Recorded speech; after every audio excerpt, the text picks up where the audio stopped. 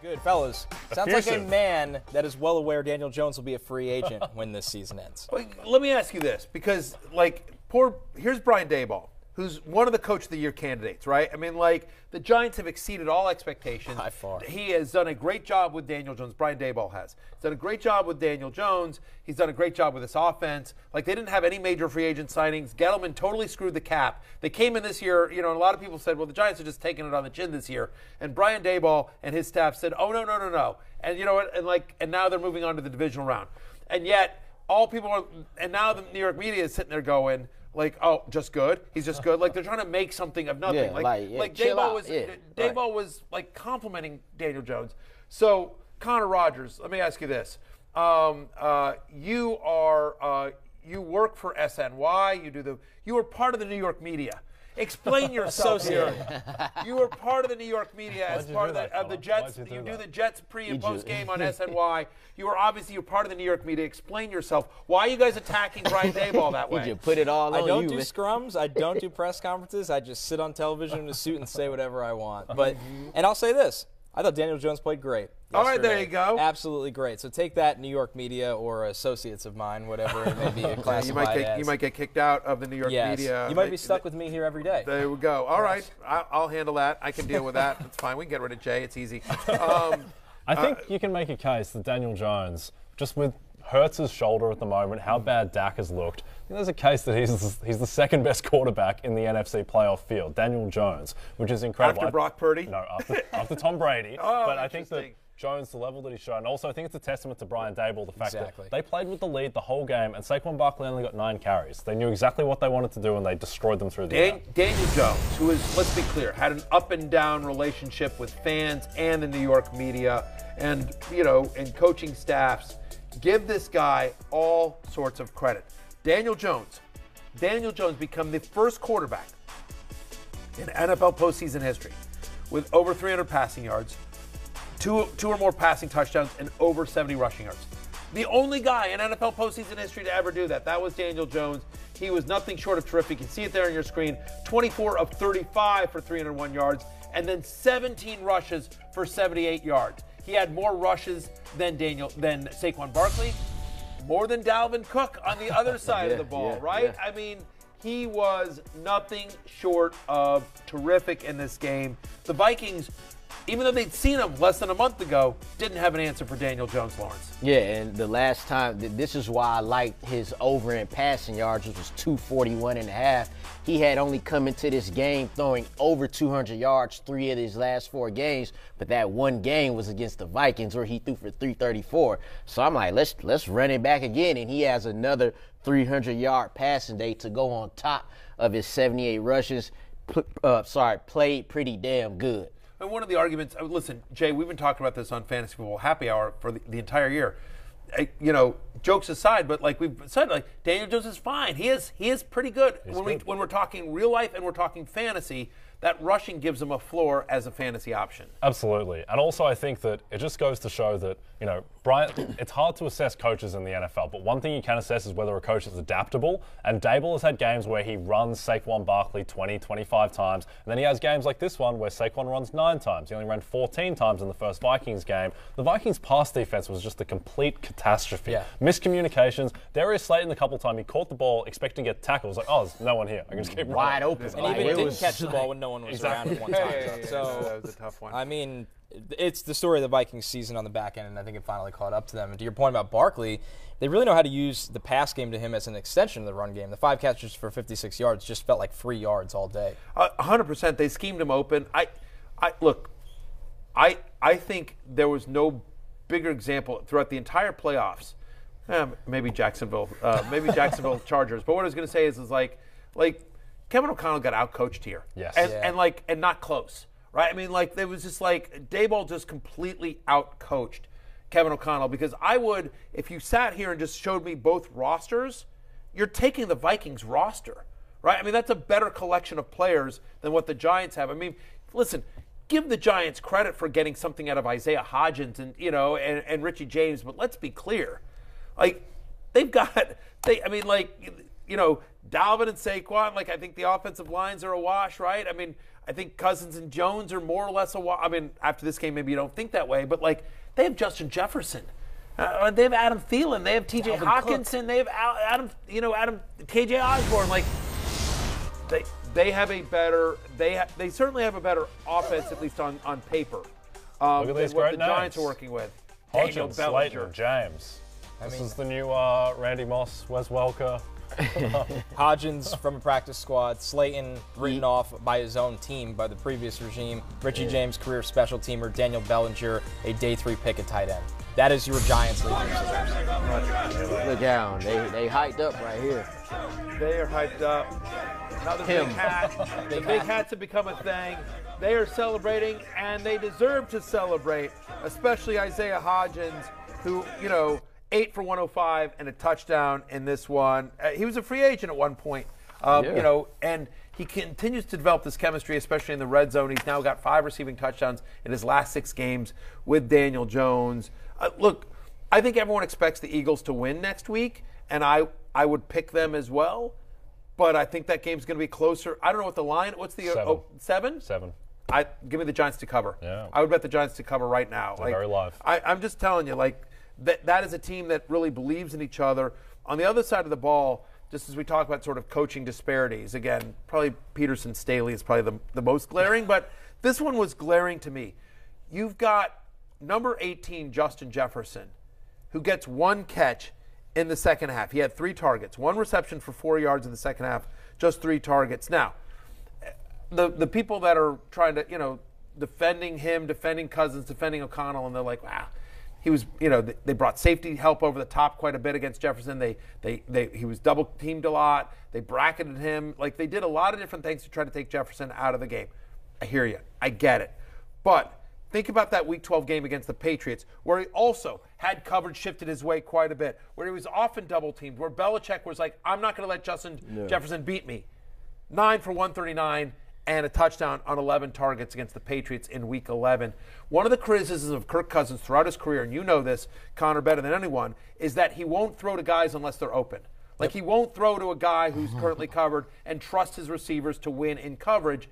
And I get that on some level, but there are some guys that you just throw even if they're covered because you trust them to make a play, you trust them to win those 50-50 balls.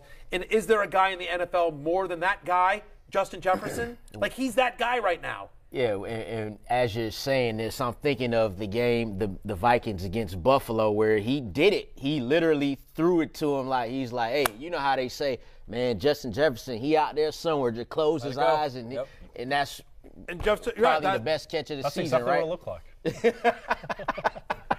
sign But but thi- but I also thought about how you just said you know Kirk Cousins hitting the like wide ass open receiver, and I think to KJ Osborne's touchdown yesterday, Kirk Cousins found him. He you know I mean he that's where you're sp- you want to throw to the wide open receiver, right? But when you're when when the game's on the line, right?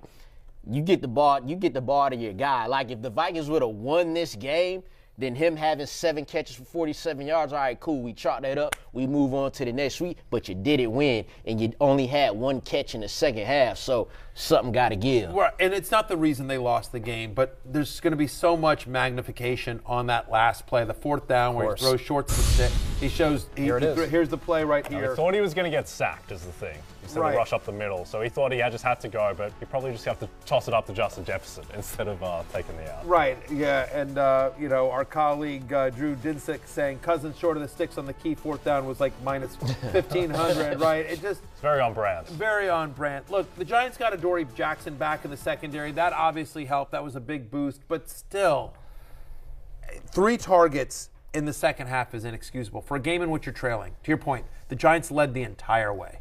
Yeah, it's inexcusable. I mean, he's the best wide receiver in football, and it, Yeah. it just they didn't utilize him even as a decoy the right way. It felt like. And we'll have the whole offseason to talk about the Vikings, but it's weird because like Justin Jefferson's my number one wide receiver and my number one player overall for fantasy drafts.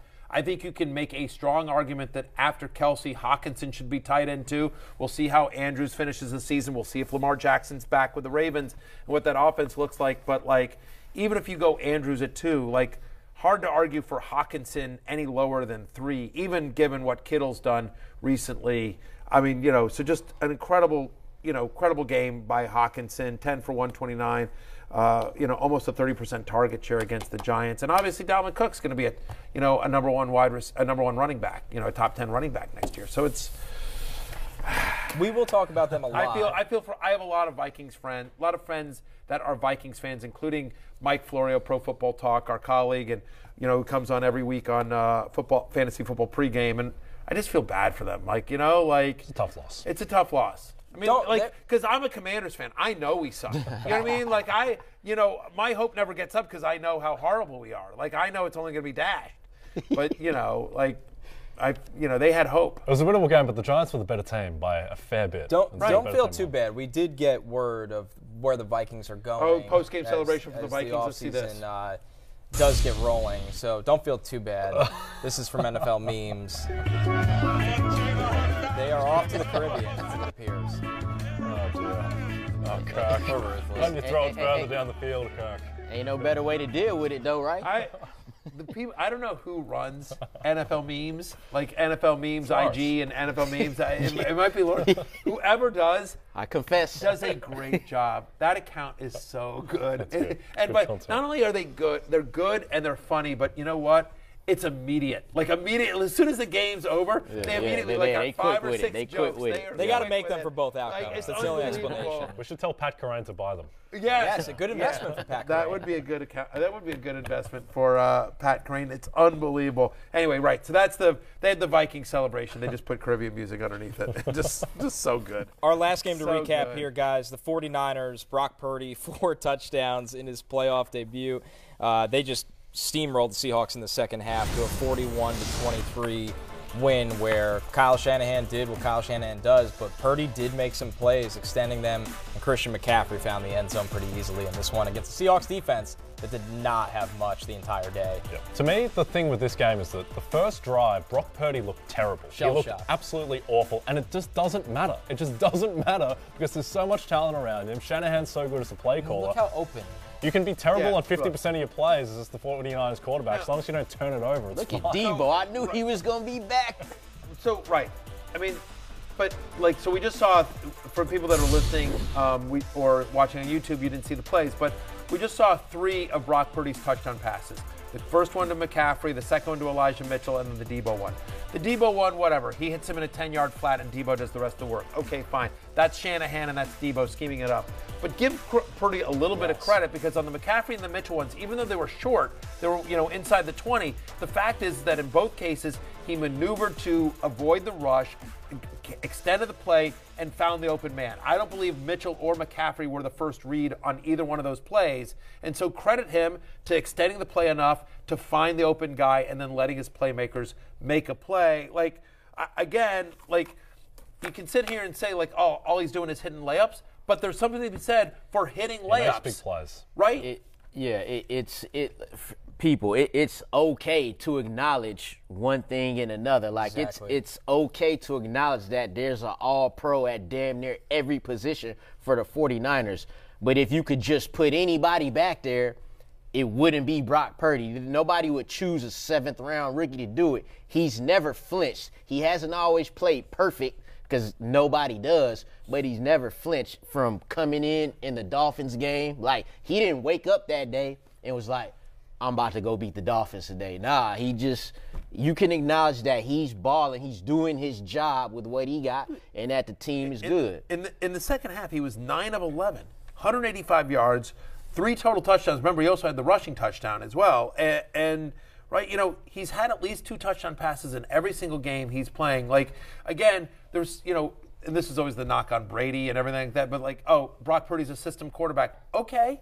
Well, that's the system he is. There's a number, and I don't think Brady's a system quarterback. I don't buy any of that. You know, that's a ridiculous argument. But my fact is, the, the point is, is that so many quarterbacks are at least on some level a product of the coaching and the environment they're in. Again, we just talked about it. Think about Daniel Jones under Brian Daboll versus Daniel Jones under some of the other coaches he's had. Judge. R- right?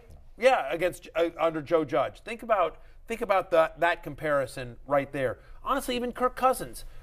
Obviously, a disappointing end of the season, but Kirk Cousins was a better quarterback this year under Kevin O'Connell than he was, you know, um, under Mike Zimmer. Yep. Right? To He's a defensive coach, so it's not really fair. But you you know what I mean? Like I mean, quarterbacks are often a product of their system and the offense and the players around them. And so, like, you can't fault Brock Purdy for taking advantage of he's, you know, okay, great, Yeah. you were dealt a royal flush, but you know what? You're playing it perfectly. Yeah. To me, Brock Purdy's not even the story. Brock Purdy's been doing this for six weeks. Yeah. To me, the story is Deebo Samuel. and the Yes, fact that he goes for 165 total yards, a touchdown. He's can't tackle this guy. No one ever sticks the Yeah, first tackle. I've never seen yeah. anyone with core strength like He this. looks It's healthy. insane.